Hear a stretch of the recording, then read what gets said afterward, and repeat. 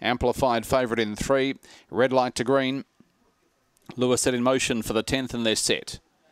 Racing, amplified, pinged out the favourite, went straight to the lead. Chevy Nova quickly onto the hills and then followed by Madam Josie. Ripon Sheen now quickly comes across to second, length off amplified as they go into the first corner. Third was Chevy Nova. In behind them was Shinbone of Pride. Madam Josie well back was Coffee Run. His stop it and last of all was Molfetta Snow. Off the back they go. Amplified is the leader. Out by three lengths on Ripon Sheen. A further three away Chevy Nova. Shinbone of Pride as they swing though. Amplified scraping the Dulux races clear. Amplified goes on and scores by eight lengths over Ripon Sheen. Third is Tight Coffee Run or a wider Chevy Nova in a photo. Then followed by Molfetta Snow. Madam Josie was close up behind them. Next across the line was Coffee Run and his stop it near the rear of the field.